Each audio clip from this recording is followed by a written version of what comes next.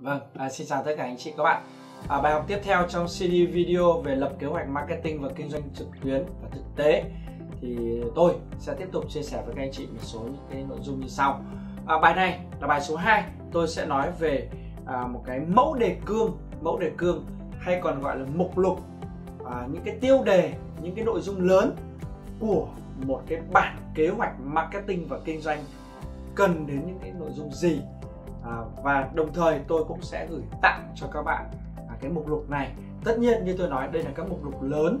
Sau này tôi sẽ gửi tặng các bạn cả một cái file chi tiết có thể lên tới hàng trăm trang để các bạn tham khảo xem xét nó như là một tài liệu tham khảo nhé tôi không nói đấy là một cái tài liệu hay hay là một tài liệu chất lượng hay là một tài liệu đỉnh cao. Tôi không nói như vậy. Tôi chỉ nói đấy là một cái tài liệu để các bạn tham khảo và các bạn áp dụng cho mình. Còn hay hay dở chất lượng hay không chất lượng nó phụ thuộc vào quan điểm và mức độ hiểu biết của các anh chị.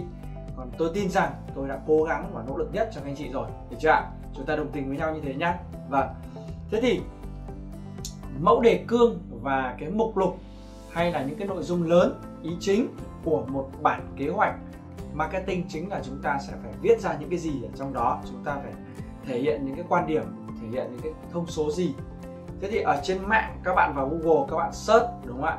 Marketing plan hay là marketing planning hay là marketing sample đúng không ạ? Hay marketing uh, uh, format đúng không ạ? Kiểu kiểu như thế hay dịch ra tiếng việt là uh, kế hoạch marketing hay là lập kế hoạch marketing hay kế hoạch marketing mẫu kiểu như thế. Cái này nó sẽ giống như là văn mẫu. Thì chúng ta sẽ thấy có rất nhiều rất nhiều các cái uh, quan điểm các cái biểu mẫu khác nhau nhưng chung quy lại nó cũng sẽ có một số những cái nội dung căn bản mà chúng ta sẽ cần phải thể hiện trong một bản kế hoạch marketing. À, tức là gì ạ? Tức là chúng ta sẽ phải trả lời cho những các cái vấn đề về à, mục tiêu đúng không ạ? Doanh số đúng không ạ? Rồi thì chi phí à, rồi thì sản phẩm bán là gì đúng không ạ? Cách thức marketing như thế nào giá cả ra sao à, rồi thì kênh phân phối vân vân vân. Thì đó đấy là những cái nội dung mà trong hầu hết tất cả những cái mẫu biểu các cái bảng biểu về lập kế hoạch marketing à, một cách tổng thể thì đều có những cái nội dung như vậy. Còn tất nhiên là gì ạ? Mỗi một cái biểu mẫu nó sẽ khác nhau được chưa ạ? Vâng. Thế thì tôi không à, giải thích thêm nữa tôi sẽ đi vào những cái nội dung mà tôi sẽ muốn chia sẻ với à, các anh chị ở đây được chưa ạ? Thì về mục lục thì tôi sẽ à, gồm những cái nội dung như sau. Thứ nhất là chúng ta sẽ phải có à, cái lời giới thiệu đúng không ạ? Tức là chúng ta sẽ có là lập kế hoạch marketing à, đúng không ạ? Cho sản phẩm gì đấy logo à, các thứ mình làm. À, chuyên nghiệp nhé về mặt hình thức mình phải làm chuyên nghiệp.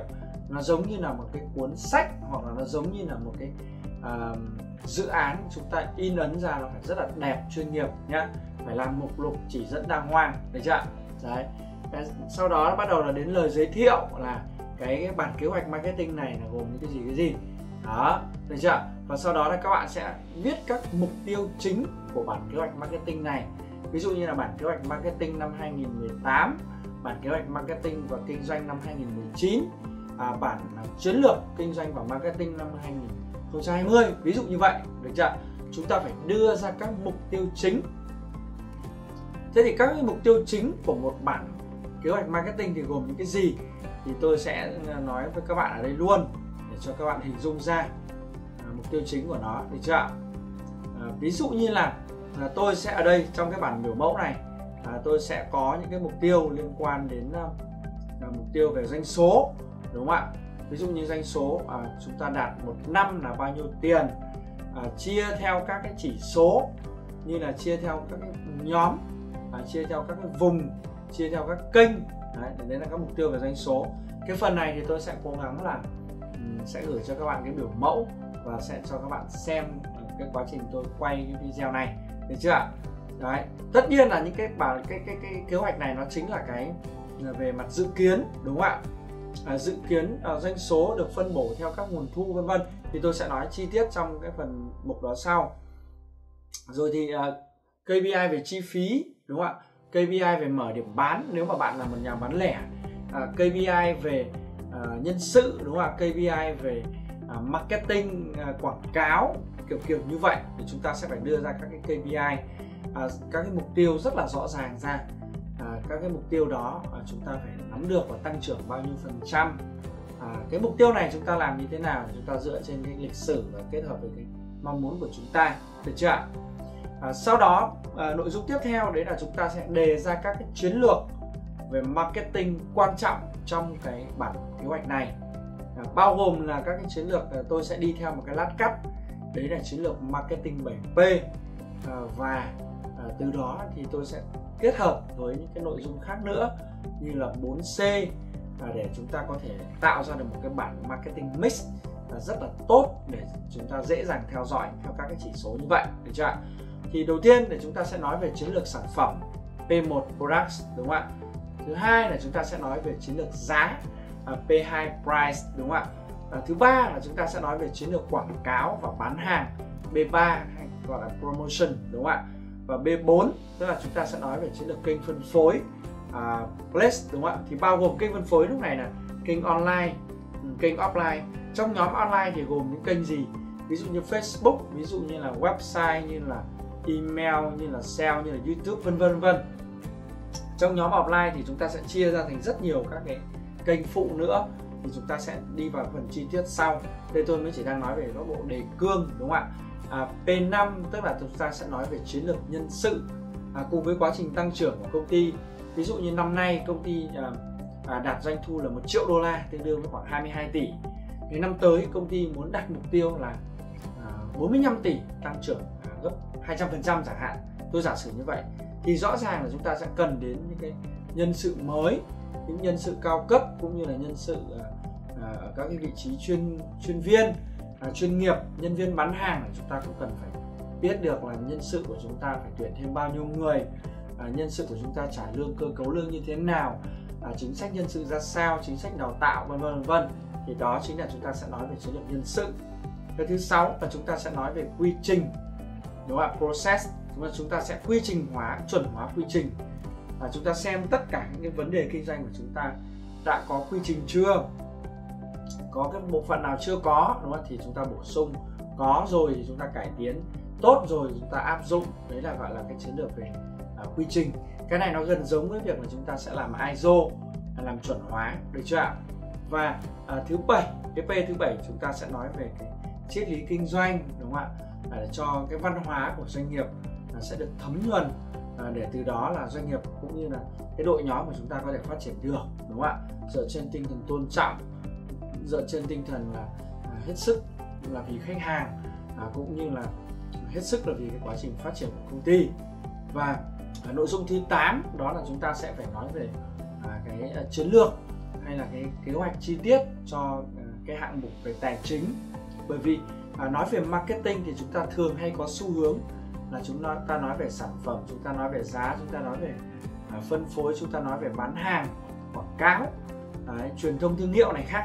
Rất ít khi chúng ta nói về cái cái cái cái cái, cái kế hoạch về tài chính. Bởi vì tất cả các kế hoạch marketing này nó phải kèm theo đó là kế hoạch tài chính. Bởi vì không có tiền thì không làm được gì cả đúng không ạ? Muốn tăng trưởng được số lượng sản phẩm đầu sản phẩm phải có tiền. Muốn chạy quảng cáo phải có tiền. Muốn PR phải có tiền muốn thuê người nổi tiếng phải có tiền đúng không ạ? Muốn làm TVC viral phải có tiền kiểu như thế.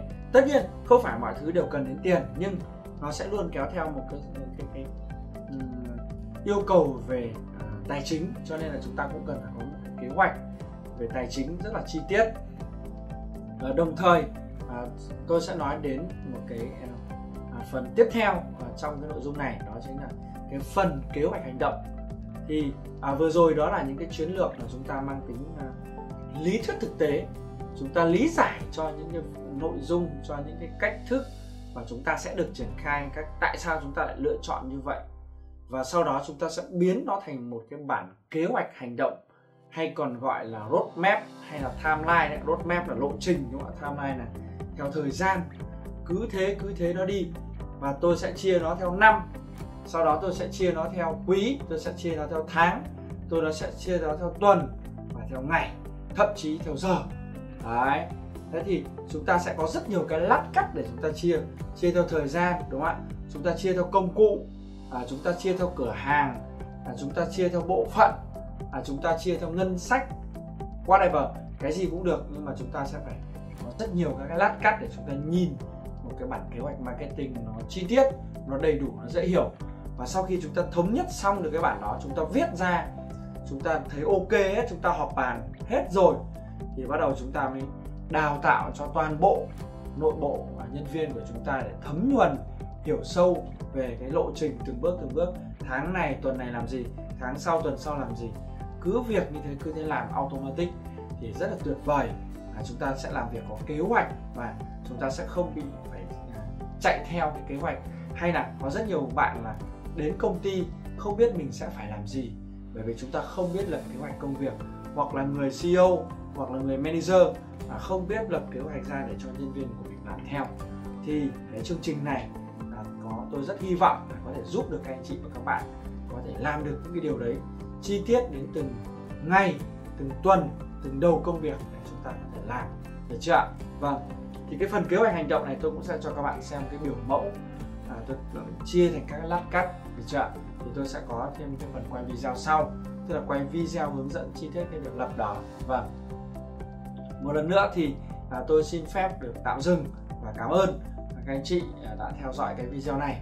Là video nói về cái phần đầu tiên đó là các cái đề mục chính và quan trọng của một cái bản kế hoạch marketing. À, tất nhiên như tôi đã nói đúng không ạ? Nó sẽ gồm rất nhiều những cái nội dung khác nữa các bạn xem ở đâu đó nó có cái này có cái kia các bạn có thể thêm vào và sắp xếp cho nó logic phù hợp. Bởi vì cái thời lượng cũng như là là cái mẫu biểu của tôi thì nó sẽ không thể nào đầy đủ và bao quát tất được mà nó sẽ gồm những cái nội dung cơ bản là như vậy đúng không ạ? Chúng ta có, à, sẽ đánh giá các theo các cái mô hình. Có người thì thích là phân tích chiến lược SWOT có người thì thích uh, mô hình 5P 5 trọng lực của Michael Porter có người thì lại thích cái mô hình Ansoft có người thì thích cái mô hình này mô hình kia. Ma trận BCG rất nhiều các mô hình. Thế thì cái quá trình lập kế hoạch ở đây thì bạn có thể phân tích các cái mô hình các ma trận. À, bạn có thể so sánh quá khứ hiện tại và tương lai. Nhưng mà tất cả những thứ đấy đều phải tuân theo những cái à, mô típ. Quan trọng của nó là chúng ta sẽ viết những nội dung gì vào đấy. Và những nội dung đó chính là chiến lược chính là chiến thuật chính là các mục tiêu và làm thế nào để đạt được cái mục tiêu đó. Được chưa ạ? Được rồi. Thế thì chúng ta sẽ tạm dừng cái bài học ở đây. À, và à, rất là cảm ơn các anh chị đã theo dõi. À, xin chào và hẹn gặp lại các anh chị các bạn trong bài học tiếp theo. À, đến cái phần nó thực tế hơn. Xin chào.